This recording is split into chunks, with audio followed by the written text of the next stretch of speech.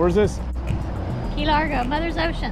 Mother's Ocean. It is a boat parts and marine, marine what? Fishing gear, consignment. Consignment, New and old stuff. new, old.